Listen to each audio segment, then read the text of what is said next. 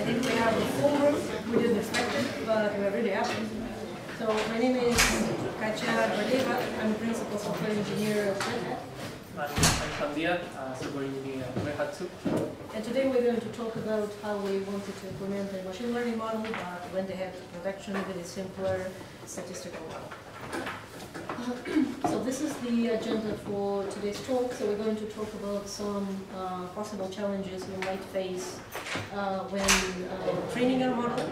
And then even after you have a model trained, you still have a long way to go to bring that model to production. So we're going to come back to that slide at the end of the presentation. So if you've been following AI news and papers in the last five years, you might have noticed that there's a lot of information about the algorithms themselves, but there is way less emphasis on the data. In, I would say in the last year, the emphasis actually has shifted to the models, which is both the algorithm and the data. Um, but there's still a lot of information about that. So today we wanted to talk about um, different, same algorithms uh, with different data will perform uh, differently, solving different problems. So we don't want to talk about the algorithms themselves because there's a lot of information about that on the internet. We want to focus on the challenges that most uh, people would face trying to bring it to production. Um, yeah, we are going to tell you about our experience. So we're going to give, a, give you a bit of context. We are part of OpenShift, which is an enterprise solution bring by Red Hat. Uh, probably most of you know about it. Uh, it's basically for operating containers. Um, what we do is getting a bunch of data from our customers' uh, OpenShift clusters. We process that data and generate a couple of graphs, notifications, emails, and recommendations for the customers to better manage their uh, clusters. The last project that we participated in is the upgrade risk predictions, update risk predictions. Um, it's the project that we are going to talk about today. It basically predicts whether an OpenShift update will break the cluster or, or not. That's the point. So before starting with a machine learning model, you first need to make sure that you understand the problem that you are going to solve. Otherwise, you will be completely lost. Uh, so uh, let's talk about the um, the problem statement first. So first you need to identify what is the actual problem your uh, model will try to solve. So uh, operating in a system, as you know, comes with a cost. But it's even higher cost uh, getting that system out of a failed state. So because you have time urgencies, you have the user screaming at you, so it's usually very expensive for the brand, with money, and for you. So uh, these are some examples of real life failures. So for example, imagine having to deal with a water leak on a Monday morning when you need to go to work. Or uh, an airplane engine failure during uh, takeoff. So another example, I'm not sure if I found the right icon, but this was supposed to be tsunami or an earthquake.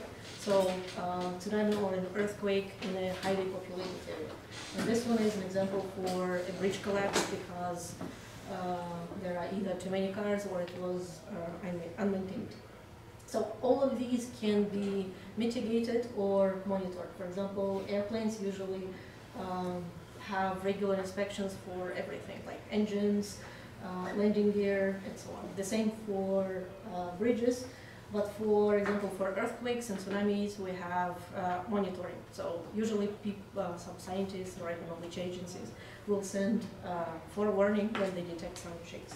So it's way cheaper to try to prevent uh, failure than deal with the uh, outcome of that failure. It can be expensive both with money and as we see in airplane, earthquake, and even the bridge collapsing example, it can cost human life. So we're not going to be that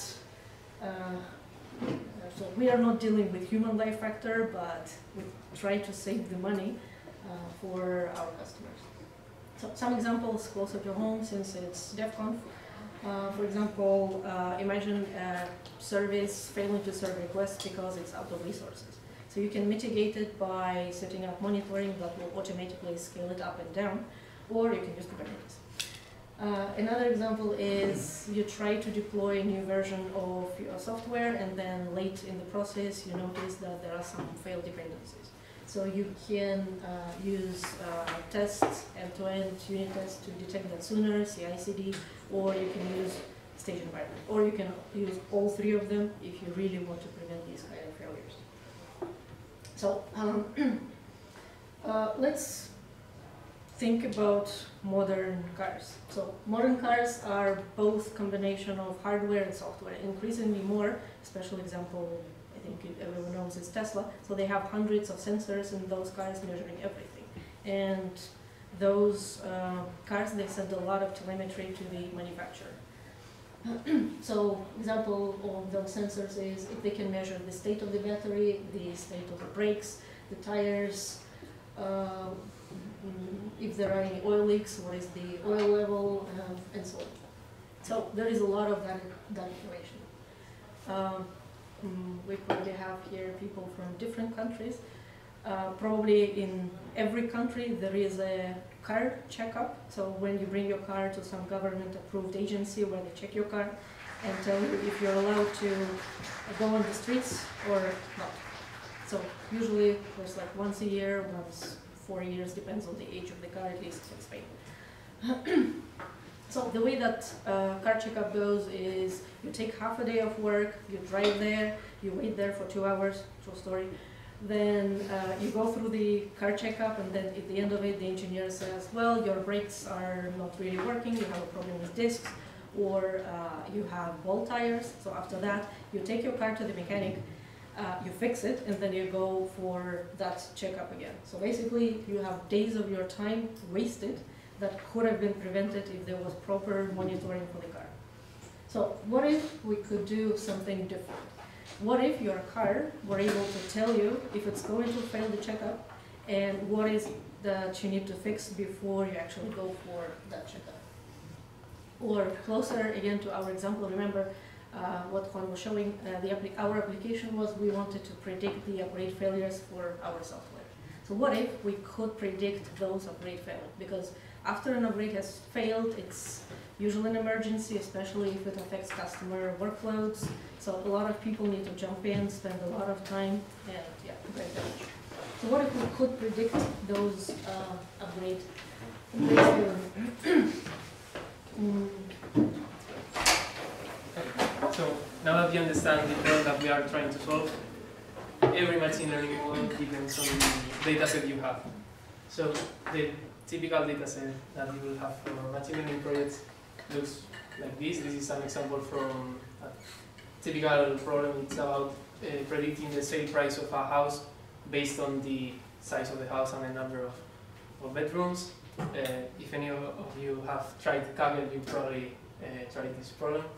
Um, in machine learning, you have features and labels. The features is the data that you have in the real life, and the label is the data that you want to predict. In our case, we have a bunch of alerts and issues, and we want to predict whether this will make the cluster fail or not. So, apart from the problem statement, the data set, make sure that you are bringing some business value to the company. Otherwise, you're just spending resources and money and not bringing anything valuable for it. So these are the three steps you have to follow before starting a machine learning project. Uh, we'll continue the rest of the path. And this is, was just the beginning. So you identify that you have a problem, that you have some data to try, and it's probably worth at least researching uh, how to solve it. Then after that, you have a go-ahead from uh, someone in your company saying, okay, we're going to spend some time solving that issue, you will have to train a model that uh, solve, uh, you, you, would have to train a model that actually resolves the user's problem, and then you still need to bring it to production. So there was a talk earlier in this room where they showed that actually when productizing, the code for the model itself is like 10% of the whole uh, pipeline. so let's talk about model challenges. Uh, first thing before you actually write any code, well, you can try playing, doing some EDA, but we really recommend to think what does success means to you. So what is the definition for success for this project? So uh, we think that it's really important to get your uh, business folks, your customer-facing people, your data scientists, engineers, ML people, so anyone that would have to um, participate to make the project successful, to get them into the same room, and don't let them out before they agree on the acceptance criteria for the project. And bring pizza, because it will take a lot of time. then you have to agree on those acceptance criteria. So, uh, as you have probably heard, AI, ML, it's all the hype right now, but under the hood, what it actually is, it's just creative math. So it needs some optimization mechanisms, metrics, to, for the model itself, for the algorithm to understand the worse and the better outcome to use it for the next training iteration. so uh, the choice of a metric, so we're not going to talk too much about metrics because it deserves its own talk, um, but uh, in our case, uh, in general, your choice of metric will depend on uh, your the problem that you're trying to solve and the data that you actually have. So um, in our case, we have way more upgrade successes than upgrade failures, thank God. And, but we also don't really care about predicting upgrade successes because, well, it's like with car. Who cares that it's successful? We really want to know when it fails. So uh, we have an anomaly detection type of problem. So we really want to identify upgrade failures. what we really do care about is we really care about uh, minimizing false positives. I used this icon for minimizing. Uh, we really care about minimizing false positives and we somewhat care about minimizing false negatives. I know these are uh, fancy statistics words, but what it means is uh, in this case, so we're trying to predict upgrade failure. Uh, false positive is we predict that the upgrade would fail, but it actually succeeds. And false negative is the other way around. So we predict that the upgrade would um, succeed, but it actually fails. The reason we really care about false positives is if we predict that the upgrade would fail, but it actually succeeds, it brings, um, it can hurt our brand, our uh, perception of our product by the customers. They're like, hmm, we see that in your portal that the upgrade is going to fail. This is your product, so you're kind of responsible for the upgrade of that product. So it might hurt us uh, as a brand, as a company. And the other reason is it might discourage the customers from upgrading to the latest version. And we really want them to be on the latest version. Uh, the second one, false negatives, we still kind of care about that, but with Kubernetes, we have accepted that it's not always possible. So false negatives uh, is when we predict that the upgrade would succeed, but it actually fails. So we cannot predict all the configurations that people use for Kubernetes. So they can use uh, different cloud platforms, it can be on-prem, we cannot control the DNS setup that they have, so we cannot uh, predict all 100% of the failures. So we accepted that and we really try to minimize so we try to be really precise about it. So I also put here the official, well, the names for each of those metrics. So we, again, we really care about precision, we somewhat care about uh, recall. If you've, I don't know, taken some statistics classes before, you might know that they are related to type 1 and type 2 errors in statistics. so, uh, do we have AI, ML enthusiasts here uh, so uh, we didn't want, we were debating if including this slide or uh, not, but because we try to avoid fancy long formulas because we wanted to keep it really uh, high level. But essentially this formula is the expression of this. We care about precision more than recall, and this formula expresses, so this is F-score, and here, uh, by choosing 0.5 coefficient, we specify, this means that we care about precision twice as much as about recall. so this is our chosen metric for this project. And it's always easier, uh, it's always better to have one single metric to guide your project because you cannot train a model using several um, uh, metrics because it needs to know what it uh, has to optimize for. then the next step is you need to create some sort of baseline. So it can be uh, either some crude heuristic, so you can use a script uh, that is using some assumptions. So it's not machine learning yet, but you're, you're identifying the acceptance uh, floor and ceiling for what is actually possible out there. you can also use humans, like human labelers, to see what is possible. One example is, we've all seen this before, reCAPTCHAs. So uh, before you usually use some either API, last time I've seen it was a couple of days ago with ChatGPT, when uh, they ask you to identify what do you see in this, find all the bicycle, boats, whatever. So, um, but even for humans, it's not always possible to identify objects in the picture. So 100% uh, accuracy is not always possible. So aiming for 100% accuracy for your machine model, learn, uh, for your machine model is also usually not acceptable. So yeah, it took me a while. so uh, the reason you create a baseline is again to establish the borders, so the ceiling and the floor for what is kind of possible.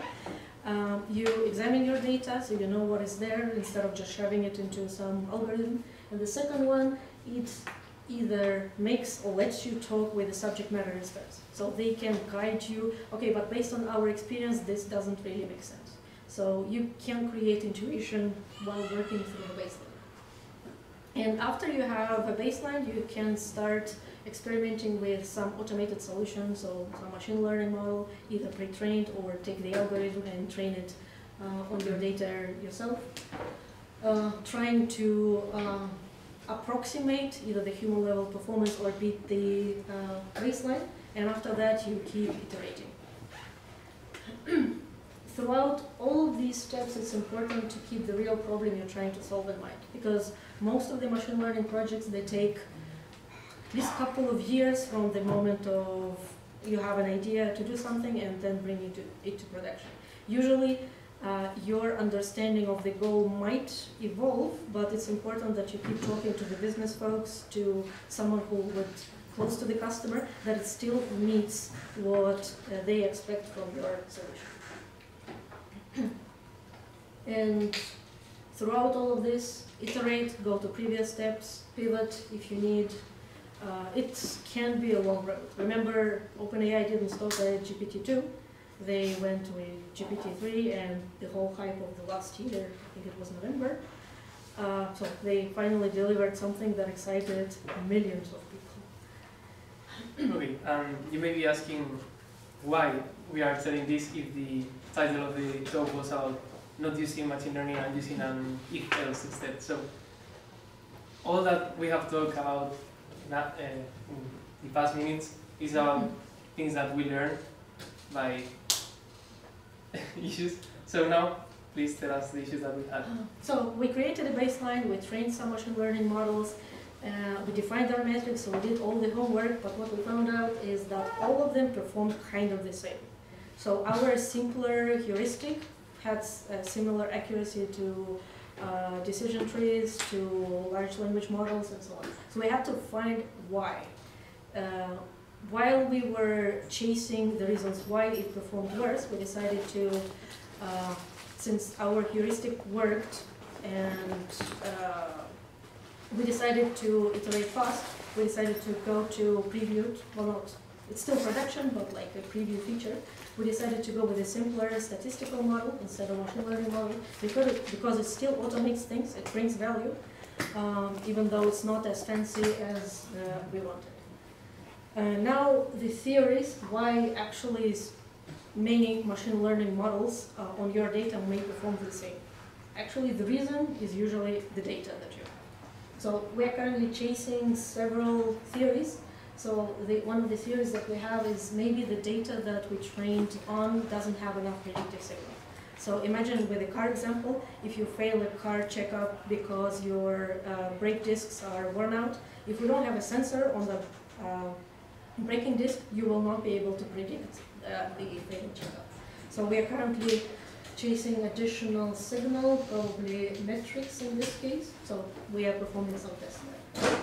Another one is maybe the data is either not complex enough or not denoised enough. Um, so uh, usually for machine learning models to get an edge over some simpler solution, you need lots of data and it needs to be complex enough for it to be able to detect more subtle uh, patterns. So uh, we are denoising the data set and we are getting more data for a longer time frame to see how it will impact the performance. Uh, another lead that we have, this is like detecting work. Uh, another lead that we have, maybe the labels that we have are incorrect. So with the failed car checkup, it's very boolean. So Uh, the engineer says, well, okay, you failed because we performed these 20 tests and this one was failed. But how many of you have worked with Kubernetes before? So as you know, with Kubernetes and its self-healing architecture, it will try to reconcile for a long time. So technically, technically in Kubernetes, there is no concept of failure unless you specifically define it.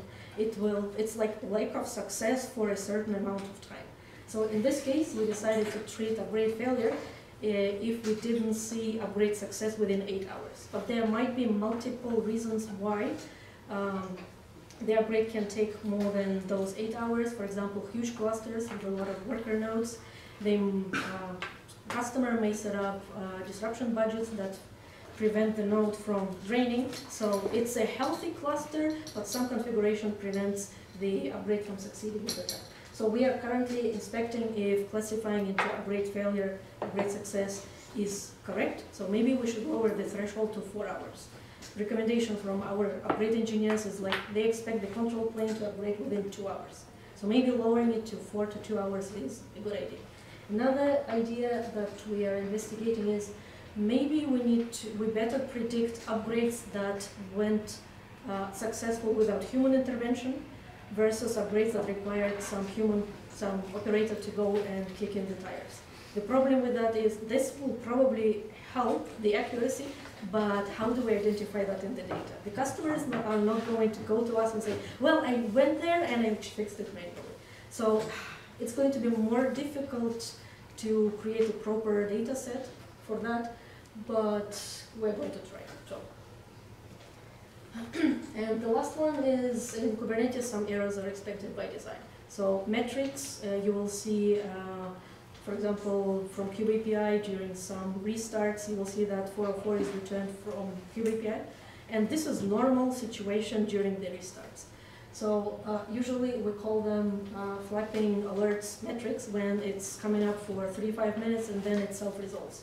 So it's important to either uh, have the algorithm well, have the algorithm that is smart enough to be able to ignore those fluctuations, or you can pre-clean the data set to exclude those things.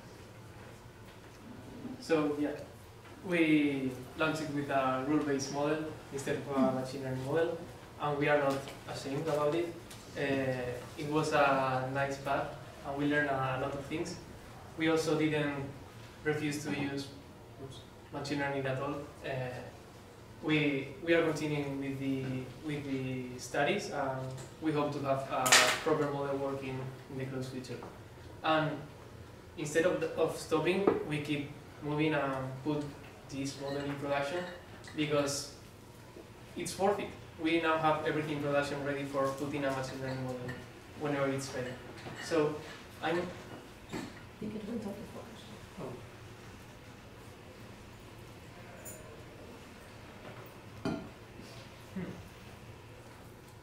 Yeah, so I'm not going to talk about the productization challenges and what we learned during this path. Uh, I'm just going to share some advices, but there were many other things. But let's start with communication. It's not just for machine learning projects, it's about any kind of project. Uh, if you have many groups working in the same project, many of them will have some issues, blockers, timings, and you have to collaborate and coordinate in some way. If you start coordinating by yourself, it can be a complete mess. You keep adding communication channels, channels, and you end up with this kind of number of channels. It's just a simple formula. but you should take a coordinator, call it the project manager, product owner, whatever persona.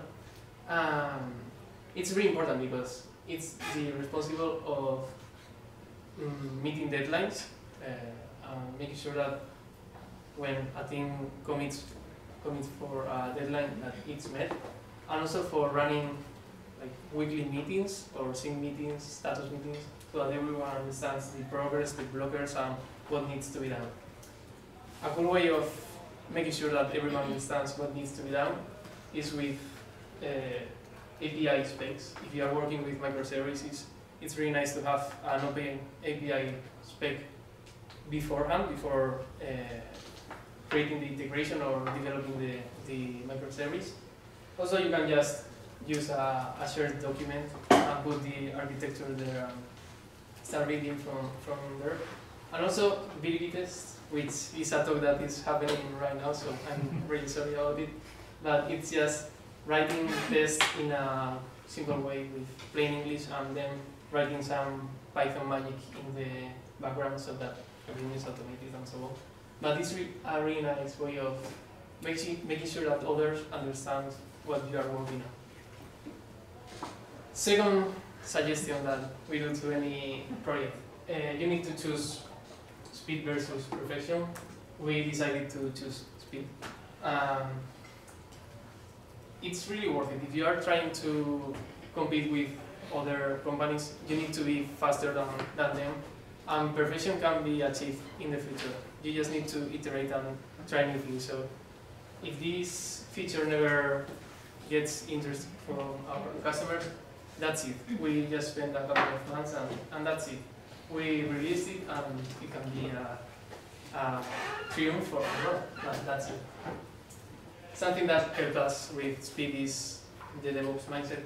Uh, we use a internal Red Hat tooling called Apesari, many of you might know, that let us spin dashboards, microservices, databases with just a couple of Git repo lines.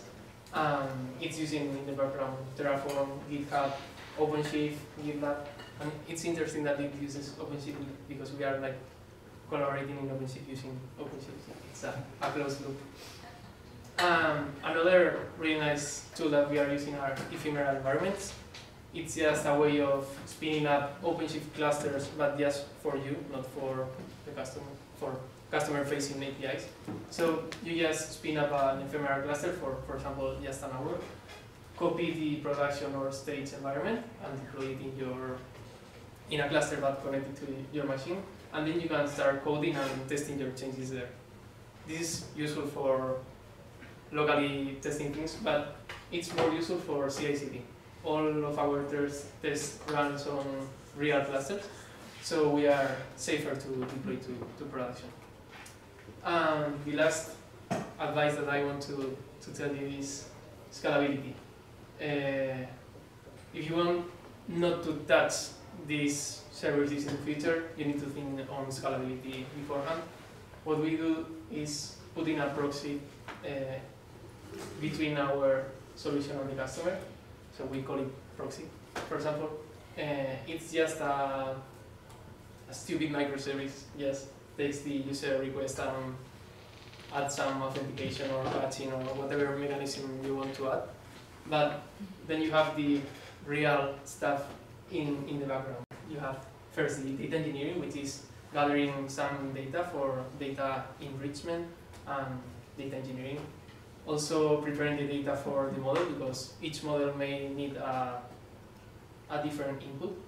And then we have the inference where we put the model, now it's running a statistical model, but it's ready for running any machine learning model. And the good thing about this architecture is that everything is stateless, so you can scale it whatever you want. Uh, if the number of users increases a lot, you can scale the inference part or the data engineering part. Also, if you want to go with a huge model like again ChatGPT, Uh, you may need a lot of resources, so you may need to scale the inference part. So it's really comfortable to have something like this. It's simpler to monitor and simpler to scale. So, wrapping up. Sorry for all this talk. Uh, before starting a, a machine learning project, you need to make sure that you have your problem statement, statement pretty clear, you understand everything that needs to be done. You have the data for, for training this model, and that you are bringing some business value to the model. And for the productization part, again, uh, recapping, uh, you need to make sure that all of the teams that you have understand and have the same priorities. Remember the trade-off of speed and perfection. So better go to market faster with something that works better than your competitors or something, then keep iterating so that you can reach perfection later. And same about scalability. Uh, make sure you have the architecture in place to be able to scale. You don't have to implement it right from the start. So, thank you for your attention. Any questions?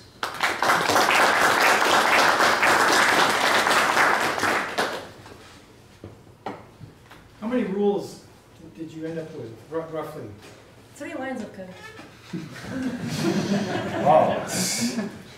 That's the logic. Well, the statistical model is three kind of longish lines of code, but it was um, months, weeks talking with subject matter experts, uh, exploring the data, and so on. But it's very cheap to, to, to operate. but we're not going to stop there. So. Um, I'm facing a similar problem, so to say, and we're not s- started to implement yet. So I wanted to ask you, um, how much time you invested in the machine learning model before deciding to move on with the um, if-else approach? We were not alone in this. We were collaborating with IBM research team, so the real data scientists were, so we're engineers.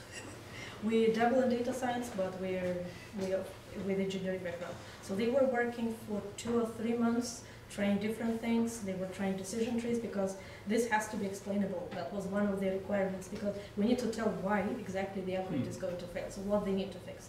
And that's not always possible with machine learning Yeah. So they tried decision trees, which is kind of explainable. They tried foundational models, so the large language models, kind of like GPT.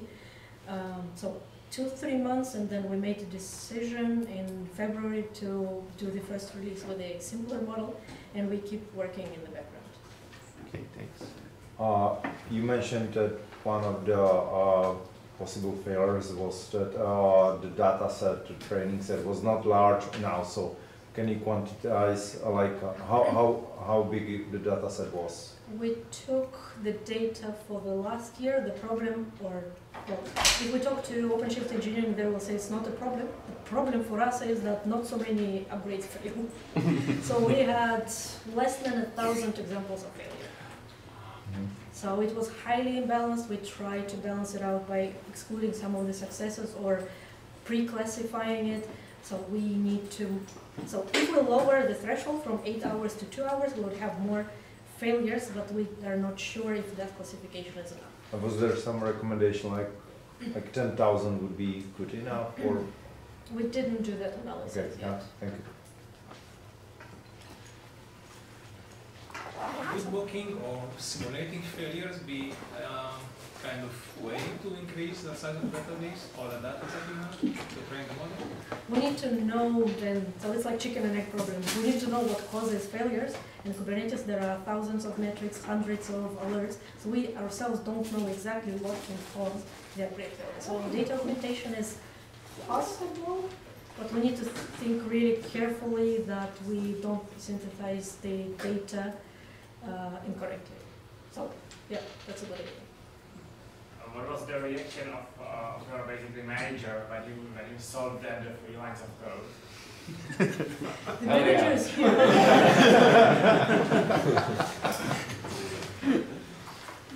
Do you want to? I think the reaction was now the manager perspective.